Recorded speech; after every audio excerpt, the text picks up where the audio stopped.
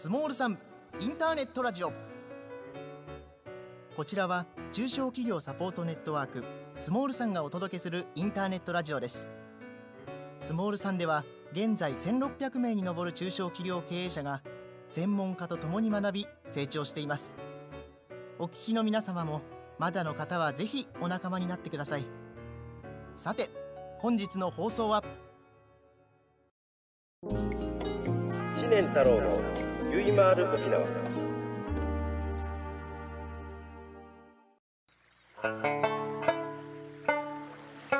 知念太郎のゆいまる沖縄。ゆいまるとは私の一番好きな沖縄方言であり直訳すると結び回るとなります。県外にもゆいという相互扶助の制度がありますが同じです。番組では沖縄を良くしたい日本を良くしたいとの熱い思いを持つ仲間尊敬する先輩の方々をゲストに迎え熱い思いのバトンを結び回してまいります。本日のゲストは PM アシスト株式会社代表取締役榎川製作さんにお越しいただいております。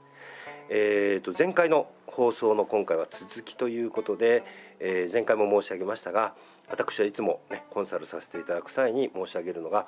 社長にね向かって、えー、残念ながら社長が言った通りにはなりませんよと。社長が言ったことをかける、えー、幹部社員の理解納得度かける、えー、実践度合いということで、えー、人づくり数字作りこの2つの掛け算ですと。例えば社長が100のことをおっしゃっても理解納得度が50%でしたらもうこの段階で50点、えー、そして実践度合いがまた明確だったりとか迷走している状態で仮に50%だったら結果としては25%の成果しか出ませんよとですから人づくり数字作り、えー、この2つをですね高めていくということが大切だというお話でございました。前回は、えー、この数字作り仕組み作りについてお話をさせていただきましたが今回はこの人づくりについてねお話をさせていただきますはい、えー、それでは榎川さん自己紹介よろしくお願いいたしますよろしくお願いしますえー、PM アシストの榎川と申します。よろしくお願いいたします。はい、よろしくお願いいたします。えっと我が社はあのまあ一番願っているのが先見経営、はい、えー、というところを最大の目標にして、うん、えー、そのためにはまずは月次の決算を上げましょうと、うん、今どうなってるかっていう数字をきっちり上げましょうと、うん、えー、その数字を上げるためには数字に成果をあの与えるためにはやっぱりプロセス仕組み作りが必要だよね、はい、というところのサポートと。あと同時にですね、うん、えー、まあ、人づくりっていうところまではまだいけない部分はたくさんあるんですけれどそういうところを4つの仕組みあ窓でですね、えー、今経営一生懸命やっております。はいありがとうございます。私がね、えー、榎川さんビジネスパートナーだと思うのは、えー、この数字に強いだけではなくてもう一つはねあの僕と同じように極端に言えばですよお客さんに夜中から来てくれ土日に来てくれって行くじゃないですか、はい、まさしくねもうなんていうのかな。あの大手コンサルタント会社が例えば総合病院だとするんであれば我々救急病院みたいなね。そうですね。ね、場合によってはねあのハグしたりとかダメですよってなざめたりとかそういったことも一緒にやってくれるじゃないですか、はい、まさしくねこの人づくりにおいても榎川さんはね僕と同じ気持ちで企業をサポートしていただけるということでねパートナーと思っておりますので今日はよろしくお願いいたします。はいよろしくお願いします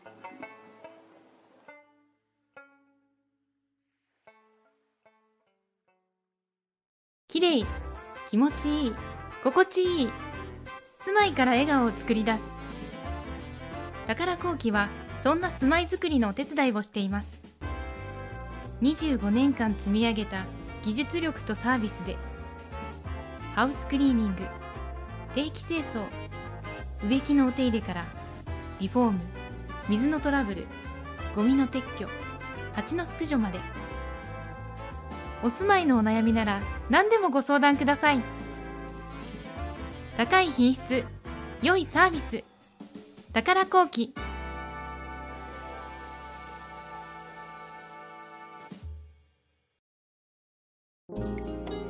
知念太郎のゆいまる沖縄。知念太郎のゆいまる沖縄。本日のゲストは PM アシスト株式会社榎川製作さんにお越しいただいてます。はい、えー今回はね人作りということで、えー、と人といってもねじゃあ何を作るのかということですけれどもまあ一言で言ってしまったら、まあ、やる気作り、えーもしくは会社で働くことによってどう自分は幸せになってくるのか、ね、ということかなって僕思うんですね。例えば、え2つの円がこう重なりがね大きい小さい2つあるとした時したで一つが会社のね、えーミッションビジョンもう一つが例えば自分や家族の幸せという2つの円があったとしたらこの重なりが多い人っていうのは僕すごく幸せで、えー働いてもね、えー一生懸命頑張れる人で重なりが少ない人っていうのはちょっと頑張れない人かなって思うんですよ。はい。まあ、簡単に言ってしまえば自営業者っていうのはこの2つの円が100%一致してますよね。一緒ですね。一緒ですよね。はい。だから土日関係なく、まあ、あー一般的に言うブラックであろうが、はい僕なんかでもね月に100時間以上当たり前ですけど残業してるし、えー土日でも仕事があればいくらでも来るし、はい徹夜もするしと、はい当たり前ですよね。これがまああー経営幹部ぐらいでもだんだんだんだん100%っていうのは当然ないのが当たり前かもしれませんがそこをどう連携させてあげるのかっていうことが大切なんじゃないかなと思います。えっとね、ちょっと説明長いかもしれませんがある会社でね聞きますと、えーファイナンシャルプランナーを呼んできて、えーライフプランをちゃんと作ってあげてうん。そして、えー、とあなたはいくつになったらいくらぐらい資金が必要ですよねというものをちゃんと出してあげたりする。そして自社の中で、えー今のあなたの役割、えーそして評価っていうのがこれぐらいで給料がいくらですよ。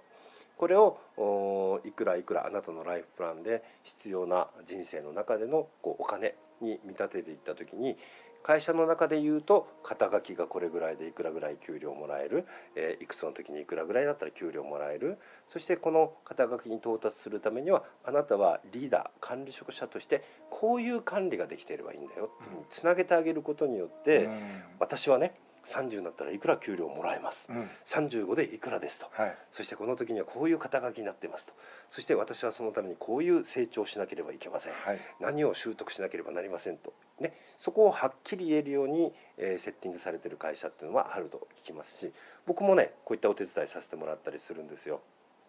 例えば、まあ、あ数字作りの中でも出ましたように、えー今度は人的管理表をおスキル管理表ですね。星取り表っていうやつのがあってですね。まあ、営業スキルだけじゃなくて商品知識。今度は管理職者としての必要な資質。というものを例えば横に並べますと。縦に、えー社員肩書き並べますと。でここに評価を加えていって、えー何点以上が例えば主任とか、えー何点以上が係長とか何点以上が部長とかっていうふうにやっていくと見える化されますよね。はい。で今度はそれをもとにスキル管理表でどう習得すればいいのかってやると具体的になるじゃないですか。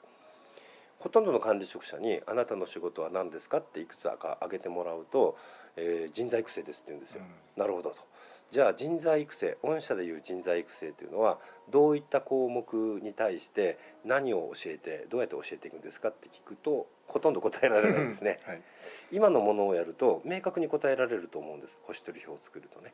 ですからその人づくりというものにおいても具体的にえー項目を定めたりその習得方法を明確にしたり、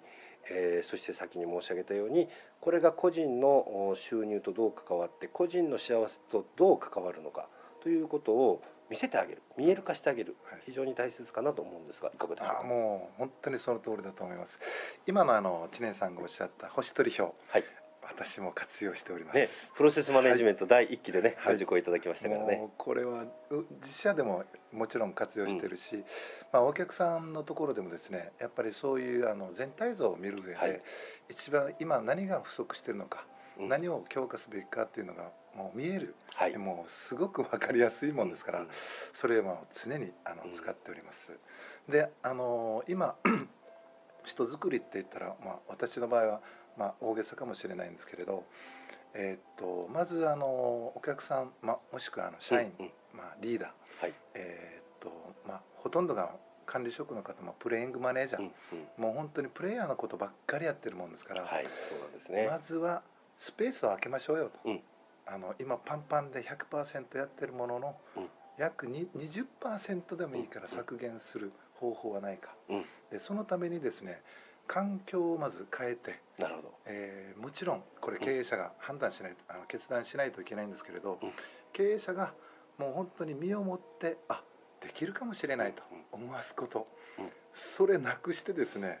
うん。どんどん詰め込んでいくと、うん。もう全く動かなくなってしまったり、いろんなのがこう出てきますので、うん。まずはそういう環境の大枠の整理、なるほどですね。星取り表をベースにした、うん。その次のステップので、うん環境の整備っていうのが一番重要じゃないかなと今思ってます。そうですよねある会社ではねこういった提案こういったこともやったりするんですが3年後の、うん組織図作ってくださいといいうことをやるんですね。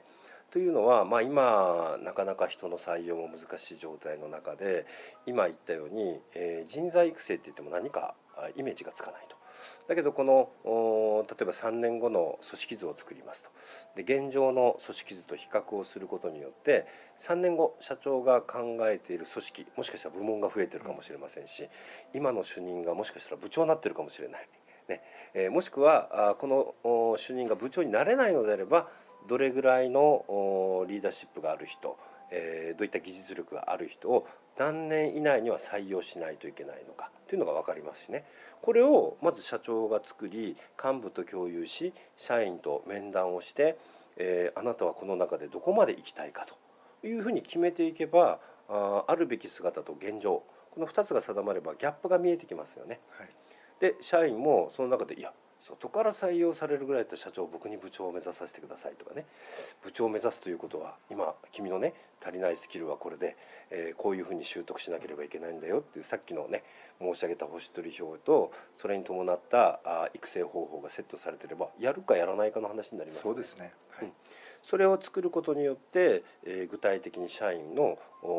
先が見える、ね。また同時に自分の生活の幸せも見えてくるというふうにつながってくるんじゃないですかっていうことでねご提案させてもらったりするんですけどねはい。やっぱりあれですよね野川さんも僕もそうですけど中小企業が、えーサポートしてる会社多いので辞める理由とかっていうのも先が見えないって結構ないですか？一番多いんじゃないですかね。ですよね、はい。このまんまここで働いて自分にとってプラスになるのかないのか。うんうんで、えー今の状況がずっと続いたらね、うんこれはもうモチベーションも下がってしまいますからね。そうですよね。じゃあこれは誰の責任なのかと。ねえーと自分で探せよと部下に言うのかそれとも会社が示すべきなのかっていうと僕は絶対的に会社が示してあげるべきなんじゃないかなと思うんですよね。はいそうなった時に今申し上げたように、えー社員のやる気を作るべく、えー星取り表、ね、具体的なスキル管理をして、えーいつまでにえーこういった勉強をすることによってこういったスキルが得られますよというようなことを作っていったりとかねする必要があるなと思いますね。そうですね。はい、先日ね、えーある会合の懇親会である経営者がね「え知念さんちょっといいですか?」って隣に来られて「あいいですよ」って話をしてましたらねこんなこと言ってたんですよ。私はね社員が求めるものに対していろんなあー研修やコンサルも含めて提案してあげたいんだと、ね、それを話してるけど誰からも提案がないと。ねだからうちの社員はやる気がないんですかねとかって言ってましただけど僕この経営者にね言ったんですよあなたはいろんな会合を出ていろんな研修会に参加していろんなものを見てるけれども、えー社員の皆様はそれ見てないですよねと、うん。情報ないじゃないですか、はい。情報ない中でどれ選ぶかって選べられないんじゃないですかと僕もね、えー子供が小さい時に部活どうしようって言った時に、えーこういう部活があるよこういう部活があるよっていうことをまあちょっとずつ体験してみたら体験してみた中であ私はこれが好きだ、そこで選べるんじゃないかなと思うんですよね。えー極端に言ってですよ、えー野球サッカーバレーとかねバスケとかいろいろありますけれども、えー、とテレビでしか見たことない中でこれが好きだとか、うん。まあやるとまた違いますしね、はい。うん、ある程度の情報がないと社員さんも選ぶことできないんじゃないですかっていうねお話を申し上げましたがやっぱり経営者がねある程度子供と子育てと一緒で、えー導いてあげる必要あると思うんですそよね。の通りですね。うん。はい。経営者がやっぱりこういう環境というかそういうところを決め,、決めるべきところは決める、うん。まあ意見聞くのはもちろん意見聞くんですけどね、そのあたりのちょっとこうバランスが取れてない場合がよくありますよね。そうですよね。またねある会社でこういうのもありましたよ。えーと、社長がプロセスマネジメントを導入したい。っていうことで強い思いで、えー、プレゼン来てくれっていうことでプレゼンしたんですけどね、えー、その会社2つの部門があって2つのね2人の本部長がねもうやりたくないってオーラがすごく出てるわけですね。で知念さんどうしようかっていう話をしたから一回じゃあ本音トークをねできる時間作りましょうということで社長にお願いしました。で社長にお願いしたのはあの社長は3つのことをね、えー、僕と約束してくれませんかと。1つはプロセスマネジメントを導入することが目的ではないですよと、はい、業績を向上させる回復させることなんだっていうのをはっきり言ってください。ですからプロセスマネジメント以外の手法があるんだったらそれ提案してもらってもいいですよと、ね、言ってくださいと。ね、でその上で今日はあこの話が決着つくまでは帰らないよと、うん、これ終わらしましさすがですね。で3つ目が、黙っといてください2つ言った後ということで話したんですよ。えー、これでいいんですか？っていうことを言うもんだから大丈夫ですよと。ね、ということで、えー、この会をスタートしましたと。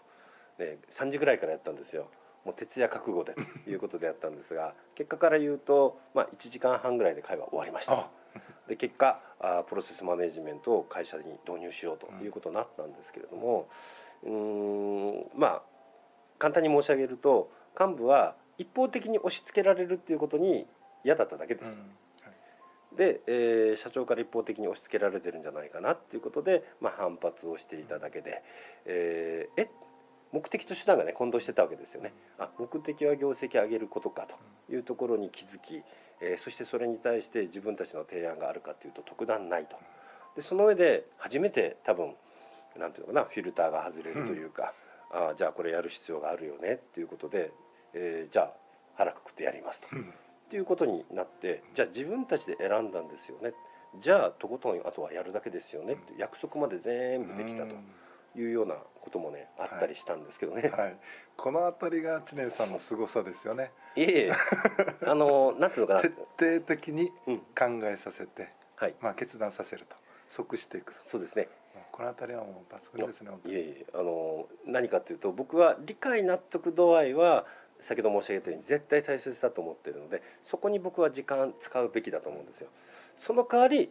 やることと徹底的に数字を出すよっていうことの理解納得ができたら初めて今度数字作りに移れると思ってるんですね。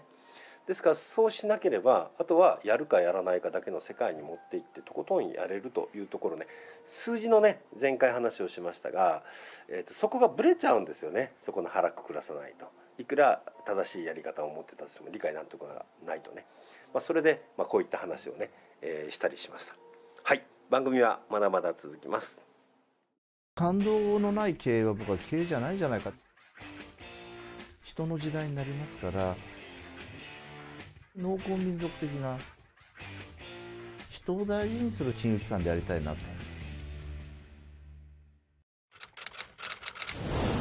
即日現金買取日本全国どこでも無料査定。トラック買取センター。アートフレンドオート。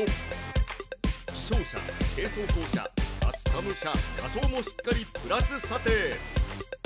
高額買取手続き無料。自社直接販売だから高額買取が可能です。整備や修理も専門のスタッフにお任せください。高く売りたいあなたの気持ちに応えます。トラック買取センターアートフレンドオート。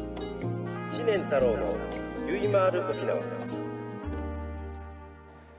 知念太郎のゆいまーる沖縄。本日のゲストは PM アシスト株式会社代表取締役榎川製作さんにお越しいただいております。はい、えー、人づくりということで人のやる気が出てこないとね、まあ、前回のお話数字作りにはつながらないと。いうことでね、まあ、いろんな事例をお話ししてますが、えー、榎川さんのところでは何か事例があったらまたご紹介いただければと思います。はい、もう人づくりっていうのはもう究極ですよね。うんうん、もう人が全てをこう構築していくっていうか、まあ、数字も人が作るし、はいまあ、いいサービスも人が作っていくんで、も本当に究極だと思うんですけれど。えっと、私もこう人づくりって言ったら、うん、まあ、語弊があるかもしれませんがあのこういう教育研修とかですね、はい。えーいろんなものをこうツールとして提供してきたんですけど、なかなかやっぱり実績が上がってないというのがうん。正直なところで、で、えーここ、まあ、何年か、うん。もう本当に、えー社員に対して、まあ、お客様の社員に対して、うん。できるかもしれないってまずは思わすことがもう全てだなと、確かにね。なので、えーうちも会社としてですね、うん。腹くくってですね、うんえー総力を上げて、うん。えー一つの会社に投下していくというスタンスで、えー今回、うん。え3社目、うん。えー入るんですけどもう一つの事業部うん。一、つのあの部署はい。うちが見る、うん。今まで総務経理っていうのはアウトソーシングで受けてるんですけれど、うんうん。えー総務経理ではなくて製造業とかですね。なるほど。サービス業の部署とかですね、うんえー本当に現業のところに、うん。えー入っていくと、うんえーまだあの成果としてはこれっていうのは出てきてないんですけれど、うん。ものすごく今あのうん。スムーズにうん。本当にあの動いていっておりまして、うん。であの当初言ったやっぱりあの次私は入るだけではなくて、うん。そこにいるマネージャーになってほしい人を、えーっと伸ばしていくと、うん。そのための環境づくりを社長、まあ、経営者が OK したものですから、私はもうどんな中に入ってですね。もういわばものすごく伴走型の、ね。さらに総責任うん者うん。になってますから、もう本当に責任も感じてるし、えーまあ、スペースもねだんだんこう開けて、うん。えー行くことができてるんでその空いたスペースに今のキャッチボール、うん。本当にあるべきものって何だろうとか、でこの仕事の進め方をこうしたらいいよねっていうところをを一つずつ解決しながらプロセスに落落とし込んでいったり、はい。それが遠回りかもしれないんだけど、うん一番の近道かなと思って、今、うんあの実践しております。はい。これはあれですよね。もうもう極端に言えばもう部門ごと請け負ってあげて、ね。はい。えーやり方のこう見本事例、はい。先ほどおっしゃった伴走はい。してあげることによって人のねうん。やり方あーあとはリーダーシップも含めて、えーサポートされてらっしゃるということですね。そうですね。この間ね僕こういう話もありましたよ、えーまだ社長にはなってらっしゃらないんですが2代目の方のね、えー会社のサポートをさせていただいている際にまず数字全部作っていったんですね根拠理論に基づいて。でその上で、えーと絶対いくら以上の利益を出すということの約束をしてね、分かりました。これでできそうですって理論根拠もつけて、えー約束をしました、はい。でその上でねこう聞いてみたんですよ、うん、もしこの部門ちょっとお部門だけの話ですけどねちょっと赤字ギリギリっぽいんだけれども絶対一部門も含めて赤字に出さないと約束しましたけれどももし赤字にしたらどうするんですかって言ったら「え？っ?」ていう顔されてて想定してないはい。僕ねわざと言い訳先に言ってみようってもし赤字の場合、えー部門の話ですけどね。赤字の場合どんな言い訳が出ますかと。いやこういう言い訳こういう言い訳。なるほどねと。それをね最初に言って最初で想定しましょうと。で腹くくって約束しましょうって話をしたんですね、はい。でいつもこれも申し上げることですが会社の社員には赤字社員黒字社員投資社員3つしかないと思います。部門も一緒だと思いますけども、えー投資っていうのは期限付きですよね、えーつまり期限付きでない赤字は放置できない、ね、投資は期限付きだからその期限内でということがあるので、まあ、黒字と赤字その総裁によって会社が黒字か赤字か決まるわけだから赤字は放置できないっていうことですよねと。じゃあもしこうなった場合にこの部門で赤字に出た場合に誰をリストラするんですかって、うん。わざわざとねうんうん極端に聞いたら、はえーって顔してた。あいい究極な選択ですね。でもこれがものすごく明確なイメージになりますからね。そうですそうです、ね。うん今ね榎川さんおっしゃったようにイメージさせたかったわけ、えーって名前出さない、いや名前出してくださいと。で名前出した、ね、じゃあこの人の家族とかも知ってますか？家庭も知ってますか？って知ってるって。で想像してくださいと。あなたはもし、えーこの部門が赤字だった場合にはこの方をじゃあ解雇されるという約束を僕とここでするんですよねと、うん。えーって顔してましたけれども、やりますと、ね、ただなんでこんな約束をするかっていうとしやってくれって意味じゃないよと、ね、したくないでしょってしたくないだったら数字出すしかないよねって、それぐらい経営者っていうのは気迫を持って部下に迫らないと。部下は動いてくれませんよ理解納得してくれませんよ。最後は今言ったようにこれ達成しなかったらねあなたの家族守れないんですよって。強い思いが出るか出ないかっていうのは想定してるかしてないかでしょ、はい。でそれを経営者が妥協してしまって、えーまあ仕方ないんじゃない？仕方ないんじゃない？最後は会社が潰れますよね、そういったことも含めてねやったりするんですけどね。さすがですね。これはもう本当に知念さんのこの迫力というか思いがね、えー伝わるからこうみんなに浸透していくんじゃないかなと思いますねやっぱりね。ね、だからそういう意味からするとね我々は、えーと経営者にねあのいい意味で闘魂注入というかね、えー経営者と共にそれぐらいの腹覚悟をして覚悟をこう経営者が、まあ、僕たちコンサルですからね経営者が直接部下にやっぱり伝えていく、ね、守るというのは何かっていうとやっぱり達成するしかないと思うんですよそうですね。そういった気持ちをね持ってもらいたいと思いながらこんなことをね、えーやったりするんですけどね。そうやって考えるとね人づくりにおいてもやっぱり経営者がねどれぐらいのこう数字作り人づくりにおいて責任を感じてるかっていうところで迫力変わってきそうな気しますけどね。そうですね。もうここに最終的にはつきますね、最後そこなってきますよね。着きますよねここにね、うんここら辺の感覚とかね、えーというのはどうやってついてくるんでしょうかね。どうやってついてくるんですかね。うん、僕の場合はね、あのー単純に、えー社員の給料ってどこから出てくるのって考えた時に100%お客様からのねいただいたあ売り上げからですよねって思うんですよ。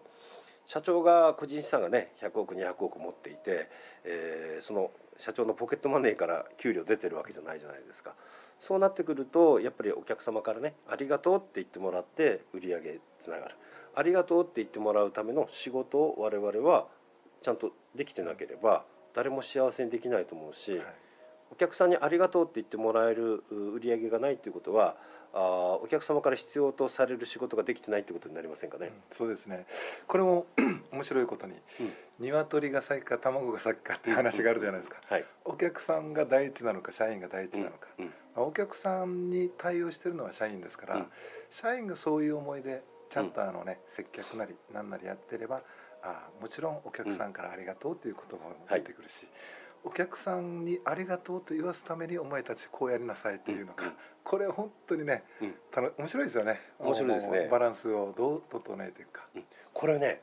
僕ね、えー、と平成3年東京で、えー就職始めたんですね。でその時に言われてたのが顧客第一主義だって言われてたんですよ、お客さん第一に考えろと。本当にね覚えてるのが平成4年には今度はね CS って言葉初めてここで出てきた、はい。カスタマーズサティスファクション、そうですね。えーお客様を第一だけではダメだと、ね、お客様が満足して初めて我々は役割を果たせるんだ。で覚えてるのが平成5年、ねしえー ES エンプロイヤーサティスファクション、はいはい。そのためには社員が満足してないといけないんだって。ちょうどね顧客第一主義平成3年、えー CS 平成4年、えー ES 平成5年っていうこれよーく覚えてるんですよ。すごいですね。本当にたまたま。ですからやっぱり顧客、えー、と社員が満足しないと僕はお客様を幸せにできないと思うので順番的に言うとやっぱりその順番かなって思ったりしますね。ただあれですね。あのどっちも大切じゃないですか、うんうん、もちろん、もうこれ天秤にかけることって僕はできないと思うんですよ、うん。経営的にはい判断するとですね、でもやっぱりお互いのこのバランス、うん。あのよく整えておかないと、うん。社員だけ疲弊する、はいですよね。も。しくはお客さんだけ喜ぶ、うん。うん。うんまあまあ今同じ言葉ですね、はい。最終的にはね。うん、そのバランスがいかにこううん大切かっていうのが、このマジマネジメントのうん。本当に醍醐味というか楽しいところですねでもね、僕ね、えー、と新入社員研修でもあと幹部研修でもねこれやるんですけどもね、えー、と会社が存続にするために必要な3つのことということで、えー、とお客様のお役立ち、えー社員の幸せ会社の適正利益、えーこの3つにわざと絞り込むんですよ。えーそれ分かりますよね？ってみんな分かりますよって。ただ本当に分かってるかっていうことを僕は逆に確認してもらうためにお客様のお役立ちだけ行こうぜ。ね、会社の利益や社員の幸せ無視していいよって。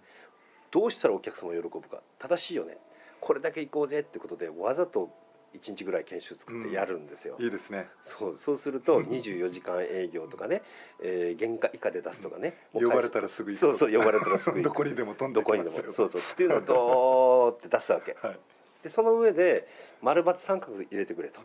これはやるべきだろう丸これはちょっと件条件付きじゃないとできない。これ無理ですよと、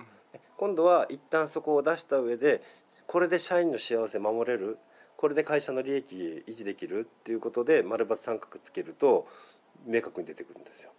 で今度は同じく社員の幸せだけ、ね、月間給料一律100万円とかね、うん。えー週休5日とかね、はい。こんなのが出てくるんです、はいたくさんね。福利厚生はどうのこうのとかって。おもうみんな社員の幸せ。もう正しいですだけど同じようにじゃあ週休5日でね2日しか働かない会社で、ね、なんか休養があっても誰も対応してくれない会社にお客さんつくんですか？とかっていうところで丸×三角利益会社残るんですか？っていうことを出してもらう。同じように今度は会社は利益がないと社員を幸せにできないし、えー存続できないよね元も子もないよねっていうことで、えー今度は会社の適正利益っていうことだけで丸×三角つけてあ出した上で丸×三角で整理すると。いう形の中で、えーもちろんねお客様のお役立ち社員の幸せ会社の適正利益っていうのは必要だけれどもバランスが大切なんだと。そうですね。わわざとこれ極端にやりながら研修でやりながらね、えー、丸×三角つけたりとかすることによって、うん。なんかイメージができました、うん。バランスが大切でしたとかね、まあ、こんな話になったいいでりとかすねこれね。うん。こんなこともやったりとかねしています。はい。番組はまだまだ続きます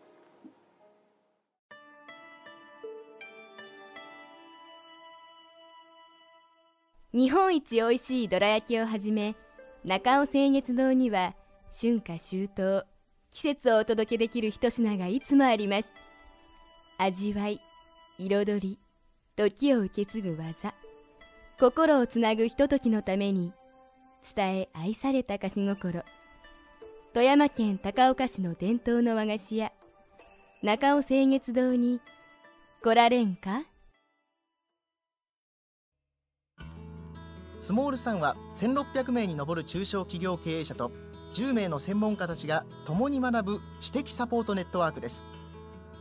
月2回ニュースが配信されそして全国にゼミが組織され毎月勉強会が行われています。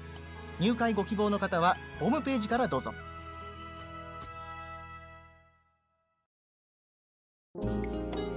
知念太郎のゆいまーる沖縄。知念太郎のゆいまーる沖縄。本日のゲストは PM アシスト代表取締役榎川製作さんにお越しいただいてます。榎川さんよろしくお願いします。よろしくお願いします。はい、えー、2ヶ月にわたり、えー、人づくり数字作り仕組み作りのお話をさせていただきました。前回の放送ではあー数字作りえー仕組み作り。本日はあー人づくりということでね、えー冒頭にも申し上げましたように社長が言った通りにはならないやっぱり、えー幹部社員の皆様方の理解納得かけるじゃあ具体的な数字作りのための実践度合いこの2つをね回していくことかなと思います私自身ね、えーやっぱり思ってますのがこの2つを例えば両輪に例えるのであればあ同じ大きさでだんだん大きく同じ速さでだんだん速くしていくっていうのが経営のイメージなんですね。えー人作り数字作りどちらかだけが大きさが、ね、大きい。どっちかちっちゃいと現場くるくる回りますし同じ大きさでも速さが違ったら現場くるくる回っちゃいますね。この2つの両輪を同じ大きさでだんだん大きく同じ速さでだんだん速くしていくようなイメージ。この2つが経営かなと。そんな感じがしたりとかね、えーしております。まあだからね事例で申し上げてもうちは人作り大丈夫ですよなんてね、えー分かりましたと。いう前提で数字作りをどーっと社長と進めていきながら社長経営幹部と進めていきながらはいやるぞっていう時に社員の理解納得がなくて そうですね。えー、まま戻りましょうってなったりする時もあるんですね。そうですね。あとあれですね、面白いことに、あのいい表現でですねはい、社長経営者はうん。高速道路をノンストップ出してる。わかるわかる。うんうん。で社員管理職社員は、うん。あの下の下の道っていう一般道をですね、うん信号をうん。待ちながらストップしながら走ってる、うん。それだけもうスピード感ではもううん。全然もう違ってきますからね、ですよね。そのあたりのギャップも大きいと思いますね、うん、で昔、えーザ・ゴール」とかっていう本がね、はい。ありましたけどもそれ読んで僕はああなるほどと思ったのはじゃあ社長がね今の話で言うんであれば高速道路はい終着つきましたと。みんな来ねえよと。うん。社長がゴールインした時がゴールかというとそうじゃないですよね。えーこのチームの一番最後の人がゴールした時がこの会社のスピードですからあー社長が一人だけ行ってもね全然 これ結果は伴わないのは当たり前ですよね。それで社長はイライラするとこれ会社はやっぱりうまくいかないですね。であればあ社員さんと一緒にねどの道一般道なのかもしくは高速だったら何キロまで出せるのかそこら辺を経営者が把握をしてみんなと一緒にゴールしなきゃって思ったりするんですよね。ねうん、中小企業のまあ難しさってそういったところかもしれませんね。はい、2回にわたってね放送してきましたが、最後にじゃあ榎川さん一言お願いいたします。はい、えー、っとやはり創業した原点を忘れずにですね、うん、えー、当社の経営理念、ちょっと幼稚なんですけど、うん、あの言ってもいいですかね。どうぞ。えー、っと経営理念で掲げてるのが、こう前前段階だけね、はい、えー、会社が元気になれば、うん、そこで働く社員が元気になる。はい、そこで働く社員が元気になれば、うん、そこで働く社員の家族が元気になる。はい、そこで働く社員の家族が元気になれば、うん。そこで働く社員の家族が住んでる地域が元気になると、本当ですよね。それを第一前あの第一目標としてですね、えー、今後も、まあ、いろんなこう紆余曲折もたくさん今後も出てくると思いますけれど、